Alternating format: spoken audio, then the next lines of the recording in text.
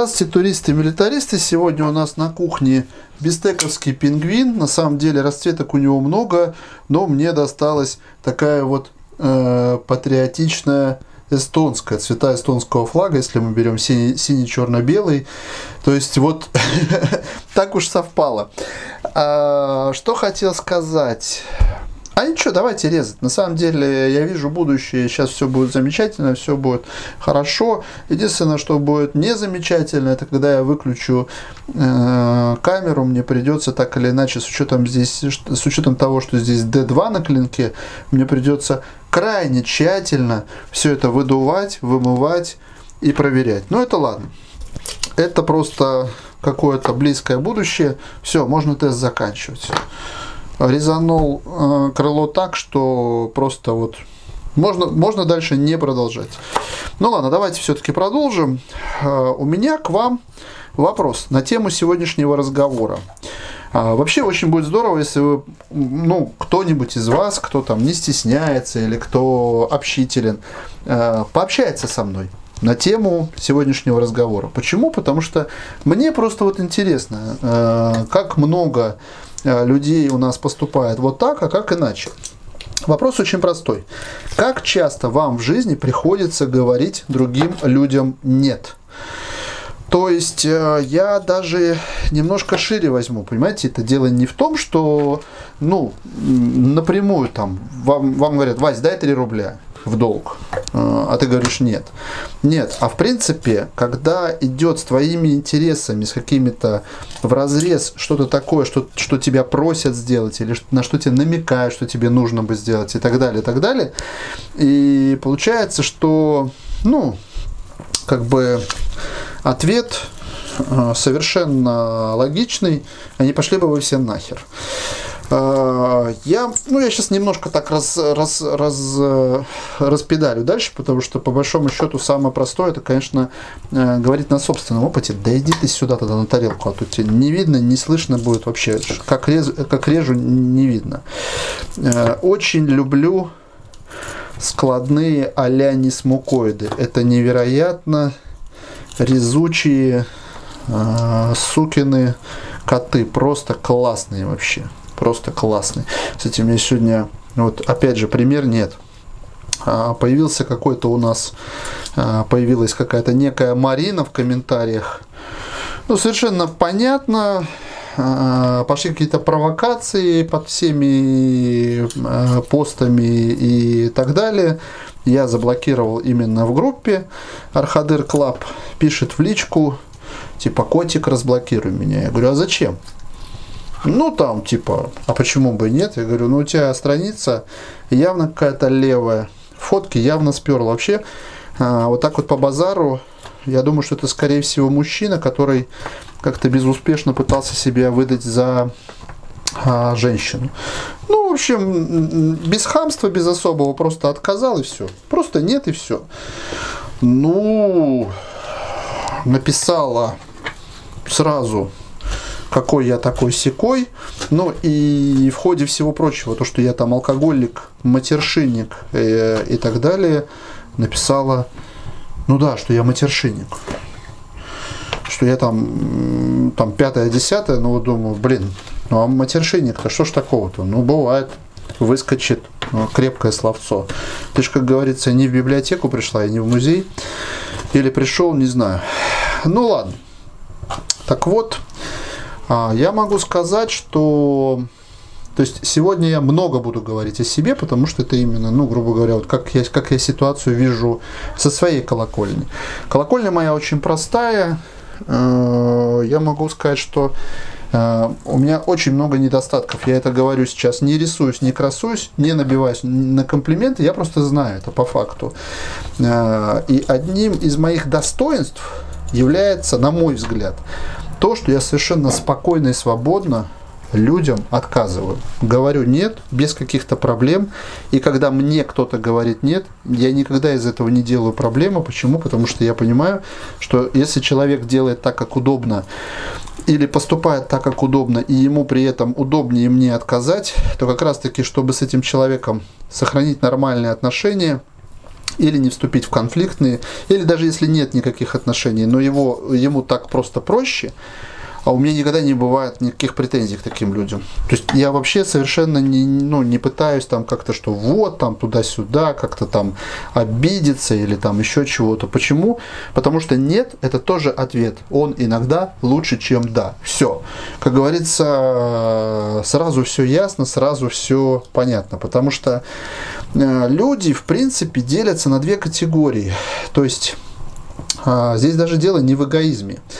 Здесь именно дело в том, что вот э, в каком-то вот именно вот в этом вот э, смысле я даже не могу сказать, что одни там терпилы, а другие постоянно там э, как-то вампирят и так далее. Но по факту э, в этих двух категориях есть сильно выраженные личности и слабо выраженные личности. Но по сути категории две.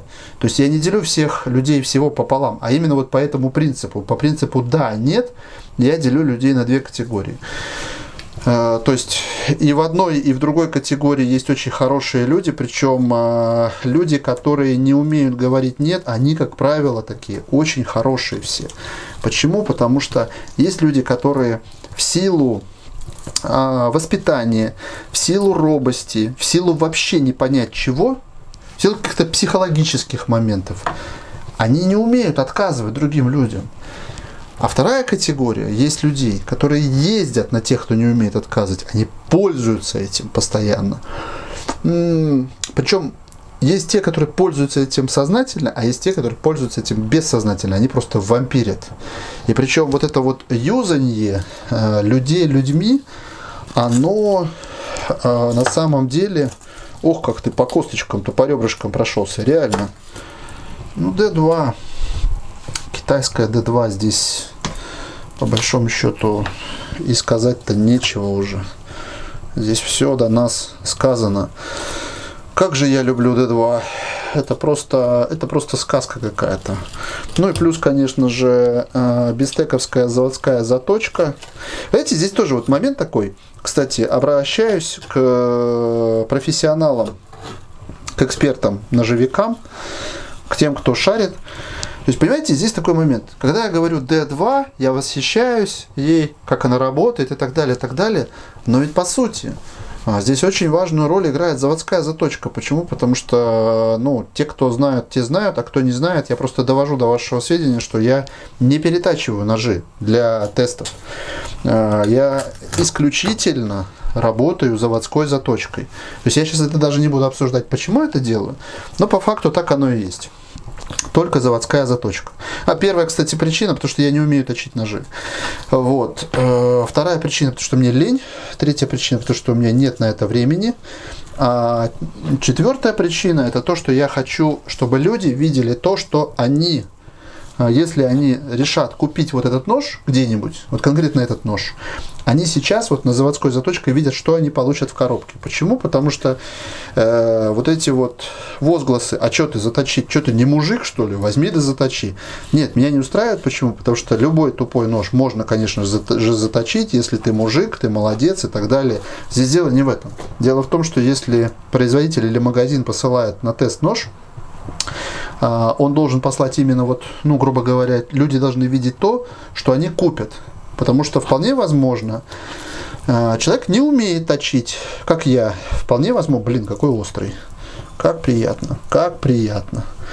А, вполне возможно, Нож пойдет в подарок кому-нибудь. Вполне возможно, нож пойдет в подарок человеку, который не умеет точить. И получив хороший, по сути, нож в подарок, он сразу получает геморрой, а где мне это заточить, как мне найти заточника или приблуду точильную и так далее, и так далее. То есть, ну, короче говоря, э, тем более у нас есть очень хорошие каналы ютубные по заточке, поэтому я показываю исключительно на заводской заточки. Э, поехали дальше. Так вот, э, вся фишка в том, что э, действительно, почему вот меня, например, это напрягает? Э, я научился говорить нет людям самых, самого разного уровня близости. То есть, конечно, я понимаю, что иногда ты не можешь сказать нет, например, если это связано с работой, правильно? Почему? Ну, потому что иначе ты лишишься работы. То есть ты делаешь то, что тебе не нравится, или ты делаешь то, что ты считаешь э, неправильным, но твое руководство считает именно это правильно. То есть, ну, окей, ты начальник, я дурак. Принцип никто и не отменял, по сути. Старый, как мир, принцип. Наверное, с появлением в каменном веке или в каком-то там палеолите э, первого начальника, э, собственно говоря, этот принцип сразу же и родился.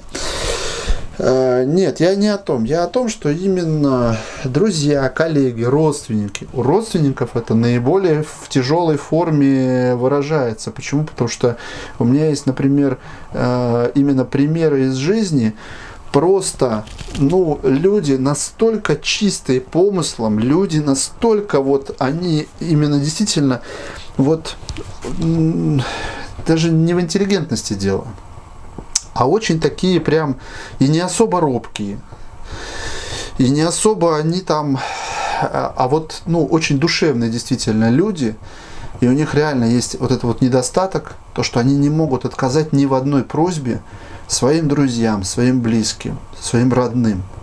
И самое прикольное, что их же родные люди, которые состоят с ними в очень близком родстве, понимая это, всю жизнь их юзает. Всю жизнь день за днем, месяц за месяцем, год за годом. Это действительно, это вот происходило на моих глазах, но это просто жопа. И как бы вы мне можете сказать, что ну если по большому счету, а тебе-то что? Может быть, им нравится вот этот вот мазохизм, они все делают, что их не попросишь, даже когда им крайне неудобно, даже когда им там э, ну, все поперек, но они все делают э, в противовес своим интересам для того, чтобы вот, чтобы их там не попросили друзья или родственники. Э, я могу сказать, что а почему меня бомбит это? Потому что, во-первых, мне жалко этих людей, потому что я понимаю, что их действительно используют, и они просто-напросто растрачивают свои жизненные ресурсы на то, чтобы вот таким вот паразитам а, потакать во всех их просьбах. Блин, как же кайфово, ребята, вот оно, вот, ну действительно. На самом деле очень много подобных ножей. Я сейчас вспомню тот же самый СТР, тот же самый Каджек. А, то есть а, это, это действительно просто потрясающие вот такие ножи такой формы. Офигенно, офигенно. Э, здесь даже дело не в том, что э, нож удобен. Дело не в том, что нож острый, он очень удобный именно вот для, именно для нарезки.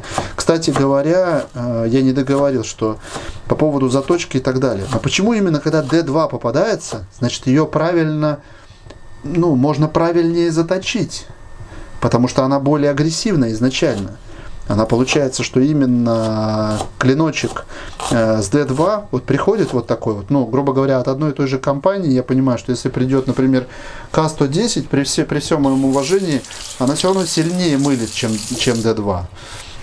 Я говорю, что я в К110 немножко так не то чтобы разочаровался, но по факту она не является коррозийно-стойкой, такой вот прям уж совсем коррозийно-стойкой, а при этом мылит то есть, ну, за ней ухаживать нужно как за той же самой D2, а при этом мылит она сильнее все-таки, чем D2. Поэтому, поэтому. Вот. И э, получается, что именно э, я бы, может быть, и не обращал на такие ситуации э, как бы внимания, но если я люблю или уважаю людей, которые вот такие вот просто безотказные по жизни, да, а, меня это начинает, конечно, бомбить.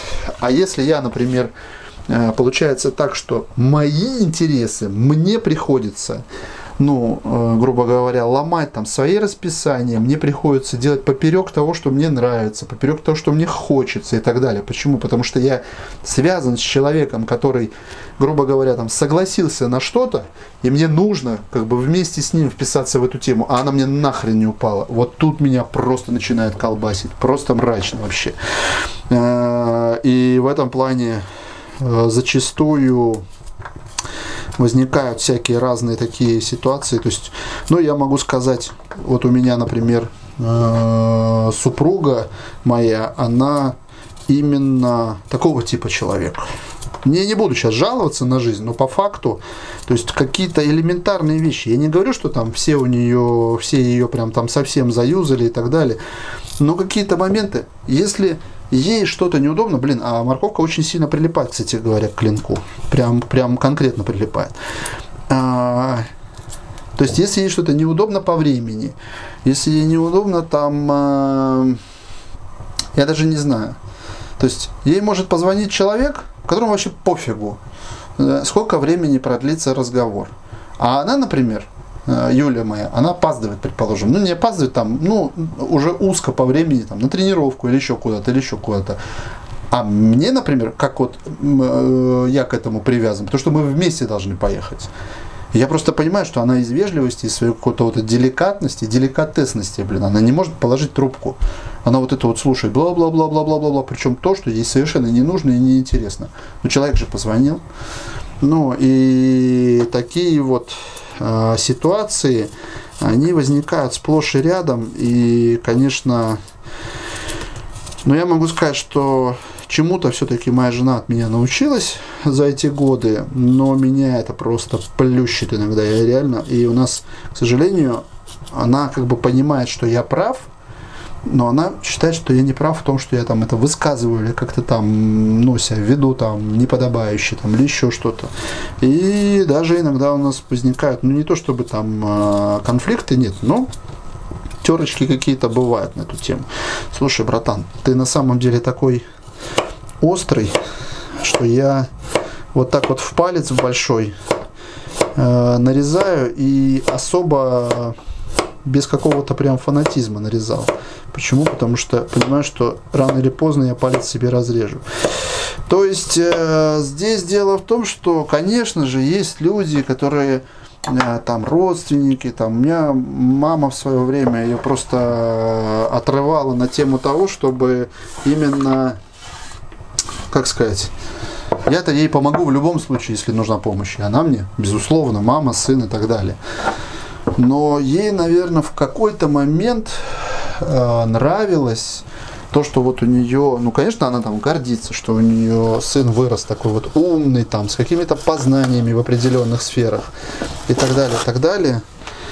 И э, в какой-то момент было вот так, что, слушай, а помоги, пожалуйста, вот тебе позвонит там э, Мария Петровна, у нее там вот такая-то проблема, помоги ей, пожалуйста, решить.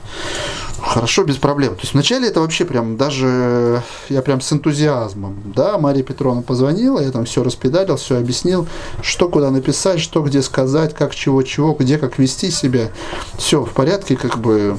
Э, но проблемус. Один раз мне понравилось, один раз э, я на рынок ходил и покупал там, я не помню, какую-то еду, у, одно, у одних и тех же продавцов. Там супружеская пара была, они уже пожилые люди были. И у них была какая-то заморока с документами для сына. Ну, и они меня просто спросили, я вот подошел, я говорю, слушай, а вот это вот там пятое, десятое, вот мы думаем сейчас адвоката взять, там все такое. Ну, что сделать? Я говорю, бери э, карандаш, ручку, говорю, пиши туда-то ходатайство, туда-то заявление, вот это нужно сделать, вот это нужно сделать. Там-то госпошлину, пятое, десятое. Все, купил там своей, своей еды, ушел через где-то там, через пару недель, может быть, встречаюсь. Говорю, ну что у вас с сыном там нормально, эпопея закончилась? Очень острый нож, ребята, очень острый нож он прям, он прям дивно и удобно, и все просто. Вот, ну, я же, я говорю, я из коробки его достал и понял. Я вижу будущее, я понимаю, что именно так и будет. Вот. Самое смешное, что после разговора со мной они наняли таки адвоката, еще в кроновые времена заплатили ему там кучу денег, а, и он в принципе, а, написал план действий, немножко победнее, чем я сказал. Это я сейчас не выпендриваюсь, а к тому, что ну, то есть, как, совершенно спокойно людям помочь вообще. Но потом начинает просто напрягать, потому что нужно встретить какую-то дочку, я сейчас уже снова жалуюсь на свою мамочку, нужно встретить на машине какую-то дочку, ее какой-то знакомый, для того, чтобы отвезти там ее в общагу, нужно там еще что-то, нужно кому-то что-то перевести, нужно кому-то что-то объяснить и прочее, прочее. В какой-то момент я перестал понимать, зачем я это делаю. То есть, и вот как раз таки на тот момент я уже начал взрослеть, я просто позвонил маме и сказал, все, мама, баста, я помогаю тебе, все, что хочешь. Но как бы вот это вот именно, ой, посмотрите, мой сын такой классный, он вам сейчас все объяснит и так далее, и так далее. Нет, у меня, ну, э, причем я не собираюсь там за это денег просить там или еще что-то, нет. По факту у меня просто нет на это времени и нет желания. То есть не срослось. И после пары еще попыток дополнительных мамуля очень быстро как-то так вот в норму пришла. То есть, по большому счету, э, сложнее всего отказывать друзьям. Когда действительно друг или хороший товарищ просит о чем-то, безусловно, совершенно не впадлу, э, даже в нарушение каких-то своих интересов, даже себе в ущерб, даже себе в как- как-то вот именно совершенно не, ну, бескорыстно помочь это святое дело. Но если это начинает продолжаться, если человек э, садится тебе на шею, то здесь возникает вопрос, э, кто ты ему? Ты ему друг или донор? Даже я могу вам сказать, э, Здесь дело даже, я говорю, что никто там не собирается ни у кого денег в долг брать. Нет. Это может выражаться, например, в том, что человеку просто нужны уши. Предположим, у вас есть товарищ, которому просто нужны свободные уши. Он будет вам названивать, а, постоянно рваться как э, беглец на колючку, забивать какие-то стрелки, встречи, там, туда-сюда. Ему совершенно похеру, какие у вас планы, сколько у вас времени и так далее. Почему? Потому что ему нужно выговориться, ему нужно рассказать по восьмому кругу все свои новости, ему нужно обязательно, именно нужна и жилетка, и ухо свободное, и так далее, и так далее. То есть э, в какой-то момент даже человек недалекий понимает, что его друг, ну, он именно вот просто вампирит. Ему нужно конкретно, вот ему нужен просто собеседник. И здесь вариантов развития событий три. Можно терпеть это всю свою жизнь. Просто терпеть. То есть тебе не нравится, тебе звонит как какой-нибудь там э, э, Вася Петров, ты смотришь, бля, и, или врешь то, что там ты был занят или еще чего-то, или поднимаешь трубку и с, с пониманием того, что у тебя ближайшие 45 минут просто высраны из жизни, ты просто их потерял. Вот. А, то есть терпеть. Второй вариант – просто с этим человеком расстаться. То есть э, понять, что, ну блин, ну дело даже здесь не в том, что он же хороший человек. Ну нет никакой возможности вот это вот продолжалось, чтобы. Э, и третий вариант, самый правильный, на мой взгляд. Вот лично я так делаю. Какой бы близкий там друг не было, как бы не было, ты должен, даже если вот такие вот моменты происходят, самое правильно сразу прочертить границу – но обозначить, что у тебя должно быть свое время, что ты не против там встречаться и общаться, но в каких-то разумных объемах и так далее, и так далее. И просто четко, совершенно спокойно, без каких-то там придыханий, без каких-то там намеков, без какой-то лжи, совершенно спокойно сказать, так, братан, вот будет или так, так, так, или не так. Дальше уже выбор за человеком. И, ну, если человек нормальный, если адекватный, если он вам действительно друг, кореш, он вас услышит, он э, услышит, что это уже идет сфера ваших интересах, и ему бы тоже было бы здорово как бы немножко пойти навстречу. Все, вопрос закрыт. Э, с дружбой, с товариществом все в порядке, как говорится, нет никаких проблем. Так. Э, плюс к этому, э, конечно же, сводится умение говорить нет. Сейчас, погодите, ребят, секунду. Закипело. Вот так вот, пускай будет так. Пускай начинает. А, в принципе, поведение человека. То есть я под, под, под, под, под вот этим вот нет, я подразумеваю не только, когда вот ты говоришь, там, ну, тебя просят там э, о какой-то услуге, ты отказываешь человеку. То есть в этом плане я считаю, что э, все должно быть, и особенно именно в дружбе. Дружба друзей, в отличие от родственников, выбирают. То есть это родню не выбирают. И говорят, что друзей тоже не выбирают, потому что настоящий друг, он тебе как брат. С одной стороны, да. С другой стороны, я считаю, что в дружбе и в браке, например, между людьми должно быть обязательно комфортно всем. То есть не так, что один действительно просто вот э, один, как говорится, донор в этой дружбе, а второй э, что-то постоянно получает. Нет, Здесь вот у меня, я могу сказать, что вот у меня очень мало друзей, но мне с этими людьми сверхкомфортно, очень комфортно. То есть я с ними дружу не потому, что мы там когда-то где-то там э, пуд соли съели, и не потому, что э, мне так мама велела там, или это выгодно, или еще чего-то. Нет. Вот конкретно, если говорить о друзьях именно, то мне со всеми своими друзьями очень комфортно. Мне с ними хорошо. Э, то есть в определенных, опять же, рамках проводить время вместе. То есть не постоянно там, не, ну, это не замещение семьи там или еще что-то, нет, а именно когда, э, как говорится, таймтейбл устраивает и тебя, и твоего товарища, э, ну, грубо говоря, частота ваших встреч, где, как встречаться, чем заниматься вместе, о чем разговаривать и так далее, и так далее. То есть в этом плане я могу сказать, что у меня друзей действительно мало, но мне с ними по-настоящему повезло. Почему? Потому что я действительно от этих вот отношений, от этой дружбы, я просто кайфую. Я действительно получаю очень много положительных эмоций, и я уверен в том, что я в этих отношениях, в этой дружбе не паразитирую. То есть я также много и даю. В этом плане, конечно, это, это просто супер, когда так получается. А, почему так получается? Потому что люди, которые вроде бы когда-то на каком-то жизненном этапе могли бы стать друзьями, но как-то себя неправильно повели. Ты вовремя им сказал нет. Все, ну не срослось, не срослось. Никто не виноват.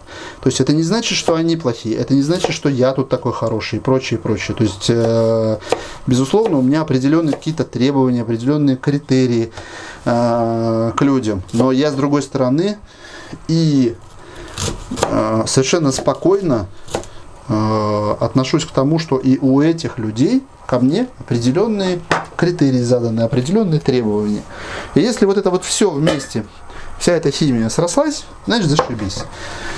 Э, в ножевом сообществе я, например, неоднократно свой адрес слышал упреки, что я человек тяжелый, э, я не ценю людей, я очень легко отказываюсь от людей, которые там были со мной близки, там и как-то мы там помогали друг другу и прочее, и прочее. Я вам открою один секрет, если кто вот, ну, понимает, о чем я говорю. Я в жизни, в принципе, точно такой же. То есть здесь, э, что на живое сообщество, что какое-либо другое сообщество, единственное исключение – это работа. Почему? Потому что я, я туда хожу работать, а не кому-то нравится или чтобы мне кто-то нравился. Поэтому я совершенно спокойно могу работать с людьми, которых я терпеть не могу, по той простой причине, что это работа. Все, здесь никаких не нужно дополнительных эмоций. То есть, ну, как бы при этом э, и на работе тоже у меня очень часто бывают именно такие ситуации, что я не заставляю себя любить, я совершенно спокойно говорю людям в лицо, ну, что-то нелицеприятное, негативное. Если я считаю, что это будет на пользу делу, если я считаю, что это каким-то образом, что их поведение как-то задевает мои интересы. То есть, опять же, не, э, не деликатничаю, никогда не деликатничаю. Э, поэтому у меня много недоброжелателей, как есть. Но, с другой стороны, я совершенно открыт к любой критике и в свой адрес. Ну, то есть в этом плане, мне кажется, что это, это мне кажется, что так правильно. Хотя я понимаю, насколько сильным мудаком я многим людям кажусь. Даже вот сейчас я это говорю, я понимаю, насколько много людей сейчас по ту сторону экрана подумали, ну ты мудак. ну что тут скажешь, ребят. То есть, опять же, э, самому, даже не самому, а просто какому-то близкому человеку, знакомому человеку. Посмотрите, как он нарезает. Вы, вы, вы, вы видите, да, я тут разговариваю, а он между делом режет. А помидорка, между прочим, очень-очень такая, она именно тупо на горячее. Больше с нее уже ничего не возьмешь. А он ее и кубиками, и по-всякому, и вдоль, и поперек. Все очень-очень-очень прекрасно с этим ножом. Все просто замечательно. Это именно вот резачок такой вот прям вот для, для командировочных, например, это просто супер вариант. Почему? Потому что это именно складной кухонник, по сути. Это очень-очень прикольно. Ну ладно, я сейчас не буду говорить именно о складных ножах, как о кухонниках. Я уже много раз говорил. Лично я предпочитаю скелеты, конечно, именно за их, за их, э, скажем, гигиеничность. Вот. Простоту обслуживания. Так. Здесь у нас мы разобрались. Сейчас, ребят, секунду времени отнимет. Я новую пачку, новую пачку салфеток открою. У меня старая закончилась. А, то есть э, совершенно спокойно, опять же, без каких-то там, просто расходишься с человеком и все, значит не срослось. Почему? Потому что, ну вот был у нас э, один господин, все же было замечательно, все было нормально. Ну, общались там, э, поддерживали друг друга и так далее, и так далее. То есть там э, какие-то были совместные проекты, там, пение то же самое. Все, все, все было здорово. Значит, э, до того момента, то есть я, я даже понимал и совершенно допускал некий уровень хитрожопости в отношениях, некий уровень какого-то вот этого вот ну, перетягивания одеяла, ну почему бы нет? Все взрослые, если меня это устраивает, ну, в определенных как бы именно э, пропорциях, в определенных размерах, ну почему бы и нет? Пускай будет. Ровно до того момента, как товарищ не скрысил часть общака. После этого отношение изменилось кардинально в худшую сторону. Или, опять же, э, были отличнейшие отношения с одним э, сообществом, дружили, как говорится, семьями, все здорово, все отлично. Э, о, бля. Это печальная печалька, по-другому не скажешь. Такие авокадо, это и не авокадо вовсе. А другой-то зеленый. Чувствую, юленция моя сегодня останется без любимого фрукта. То, что авокадо это фрукт, это в принципе издевательство.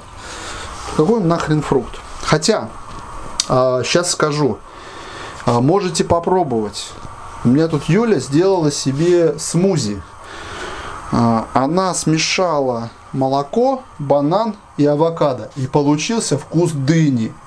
Причем она говорит, попробуй. Я такой, фу, блин, авокадо, нафиг надо. Я пробую, реально вкус дыни. Вот прям вот, вот, вот авокадо, банан и молоко. Просто капец. Прям, ну, настолько причем такой. Ну, в общем, кому, кому не лень, попробуйте. Э, просто скажите, вот так оно или нет. На ваш, на ваш вкус, на ваш взгляд. Так вот, э, и опять же, ну, э, дружили, как говорится, семьями с одним сообществом, все было нормально, все было хорошо.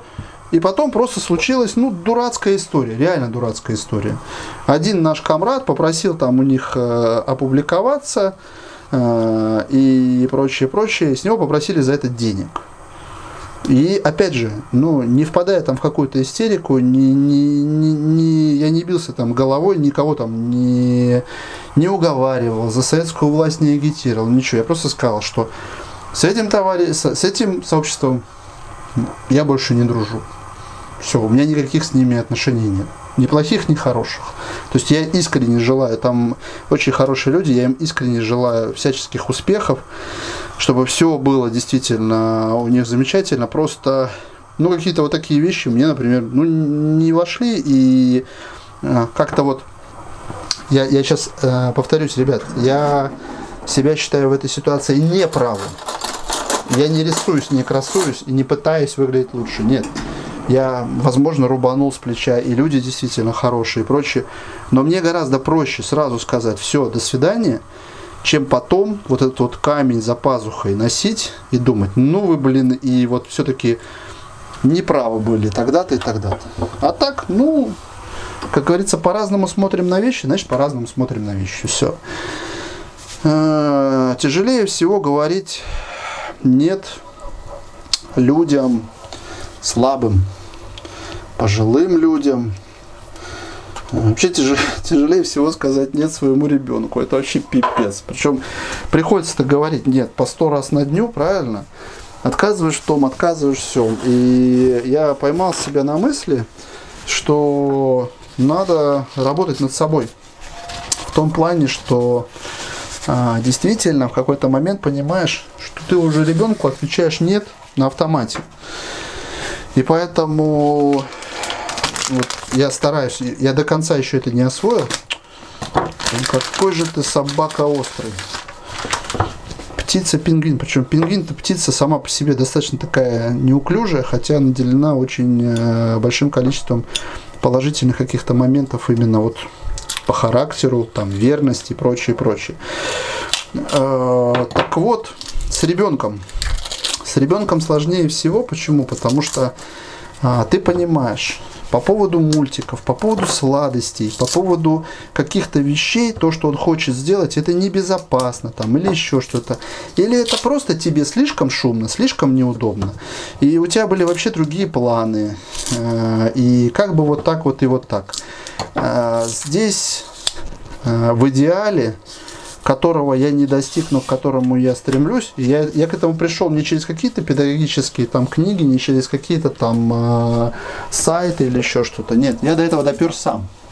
В какой-то момент я понял, что я уже просто привык своему сыну отвечать нет на какие-то мелкие вот вопросы по поводу киндер-сюрприза, по поводу... А видите, как удобно вот здесь?